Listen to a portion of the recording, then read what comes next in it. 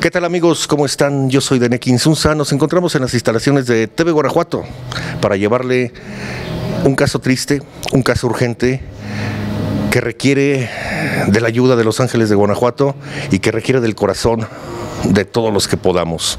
Es el caso de la señora Julia. Acompáñeme a conocerlo. Nadie me ayuda. Nadie me ayuda. Yo ya he hecho mucho la lucha, Señor. Ya no hay donde meter solicitudes. Y casi la mayoría de las de los trabajos este pues piden señoritas de 18 20 años. De 15 a 20 años. Y yo ya estoy grande. Entonces yo le digo, mire, si quiere para si quiere para hacerles el aseo o, o llevarles la basura. No, no, no, señora, gracias. Entonces yo ya he estado unos días, digamos, a prueba. Pero luego salen con que, no señora, sabe que ella no, porque ya vino la señorita que está haciendo su trabajo. Le digo, pero si ustedes me dijeron que ya iba a estar aquí, no, no, es que ya llegó la otra. Entonces son puros, digamos, puros mm, que me ponen a prueba, vamos. O sea, prueba, ¿y le pagan en esas pruebas? No, no, no me dan nada no me dan nada. Precisamente porque son unos 3, 4 días y no ha completo la semana. Entonces yo le digo, bueno, entonces, ¿y estos días que trabajé? No, pues nada más estaban a prueba, como diciendo, no se los vamos a pagar. Entonces ya llevo yo más de una semana que no pruebo nada, nada, nada. Y es por esa mi desesperación que como le repito que ya mejor me quiero suicidar. No, señora, no, no diga eso. Siempre hay una salida. Es que yo no tengo a nadie, no tengo trabajo, no tengo que comer. Yo no me quejo mucho, mire, porque gracias a Dios tengo la casa de mis papás. Tengo un cuarto para mí, pero esa casa se la dejó mi papá a mi hermana la mayor. Y como no nos llevamos bien ella y yo, me ha querido echar de la casa. Y este, y alguna gente me ayudó para resolver eso porque, porque en el testamento de mi papá, sí, casi casi le dejó la casa a mi hermana la mayor, pero ella, como tiene dinero, antes de morir mi papá, pues ella arregló con un licenciado para que forzosamente mi papá le dejara la casa a ella. Entonces mi papá cuando estaba falleciendo yo oí que le decía te encargo, te encargo a Julia, te encargo a Julia, porque yo tengo, yo padezco de epilepsia. No, pues casi al contrario, me, me aborrece más.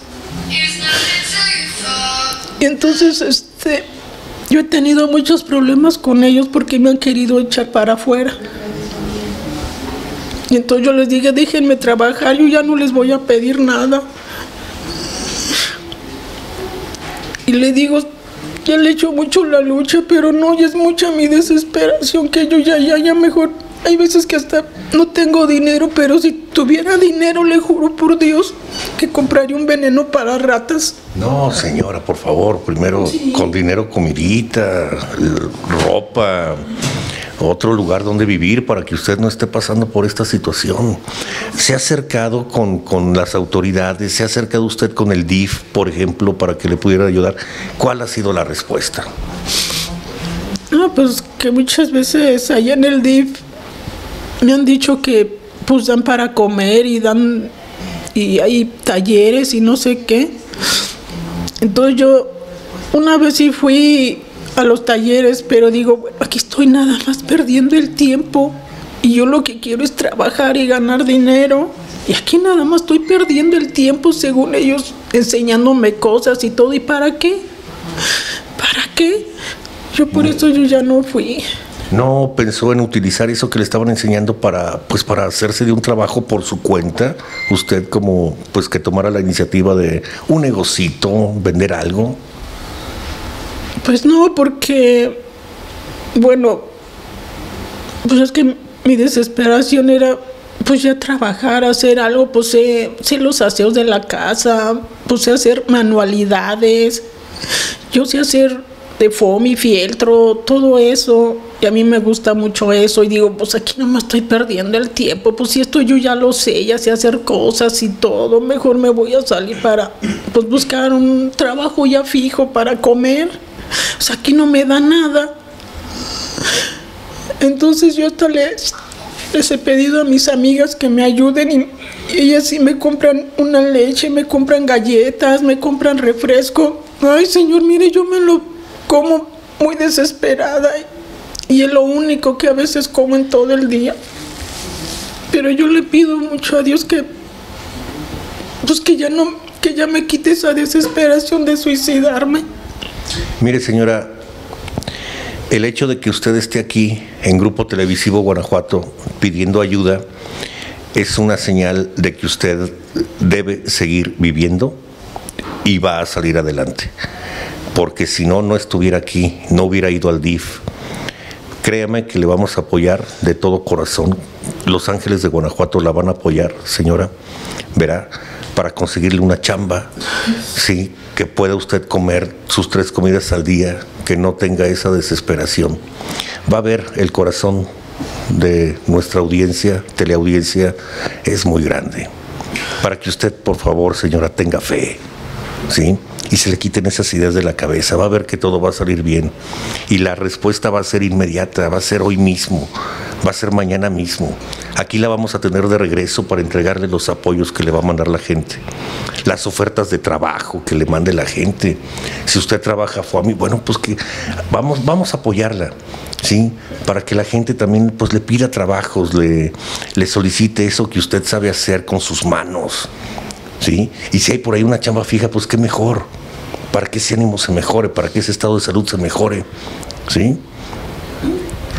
Sí, Usted les pido su ayuda, por favor, porque, como les repito, ya llevo más de una semana sin comer bien ni nada. Hay veces que en, el, en, la, en la calle voy así como mareada, con unos dolores de cabeza y digo, ni modo, pues si no he comido nada, ni modo, tengo que seguir buscando chamba, pues para mí misma. Aunque le cargo mucho que si me están oyendo mis hijos, que también se comuniquen conmigo, que me busquen. Mi hija se llama Rosángela de la Caridad y mi hijo Miguel Ángel Abraham. Pues ahí está el llamado, chavos, acérquense, apoyen a su mamá. Mi hija vive, creo, en Celaya y mi hijo en Irapuato. Que por favor ya me perdonen y tengan piedad de mí, que todavía tienen a su madre, porque yo ya les he pedido mucho perdón, pero no, no se acerca ni me habla ni nada. Es ese otro de los motivos por los cuales yo ya, pues qué caso tiene vivir, qué caso tiene estar aquí si no tengo a nadie. Yo por eso no, yo ya, le digo si tuviera dinero yo ya me hubiera suicidado con algo. No, señora, con dinero pues se solucionan los problemas, no, no los agravan. Esperemos que pues que usted mejore su estado de ánimo para que esas ideas desaparezcan de su cabeza. La vamos a apoyar de todo corazón y los ángeles de Guanajuato la van a apoyar también y seguramente esto va a trascender y sus hijos pues hay que tentarse el corazón, son los papás, es la mamá, ¿sí? Señora, ¿algo más que quiera agregar que no le hayamos preguntado? Pues solamente eso que les encargo, por favor, que un trabajo fijo para por ella mantenerme yo misma, ella quitarme esas ideas de la cabeza, nada más, por favor, se los pido.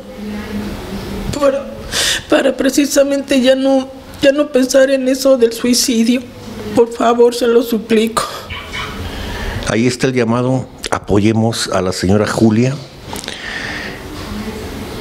Ha pasado una semana espantosa un infierno, no ha comido en toda una semana, no ha conseguido chamba, no ha conseguido el ingreso y aparte de todo tiene problemas familiares graves que la tienen en una situación emocional deplorable, espantosa.